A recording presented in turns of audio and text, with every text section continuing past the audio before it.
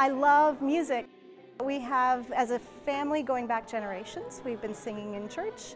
Uh, my mother belongs to a choir, my brother belongs to a choir, and I don't get a chance to sing in a choir as often as I would like, so it was, I love coming to Music Matters. Every year, Music United, the National Musicians Association of the United Church, holds its annual meeting in a different region of the country. They call it Music Matters.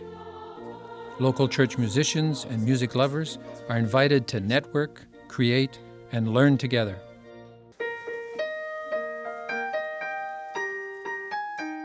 Fantastic because I work with, as I said, the congregations across northeastern Ontario, and it brings the national church to us. Um, so often, where we are, we're often isolated and feel a little bit separated from goings on in different parts of the church. And here we have a fantastic event with wonderful speakers and great experiences. We're able to come together to share in music and worship and learning together. So it feels like the rest of the church kind of came to us this time.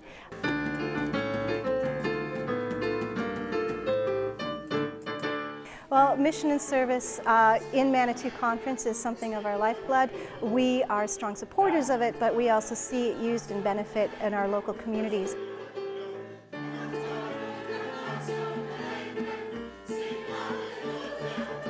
I love to talk about mission and service resulting in lives changed. And I have to say, I've only been here just this afternoon uh, because of my church duties have taken me elsewhere today. But just coming here, uh, singing together, learning together, my life has changed. And that's the effect that mission and service has on people all over the place. So I'm, I can not stop talking about the effect that people have when they put those toonies and loonies or whatever else they do in their mission and service offering.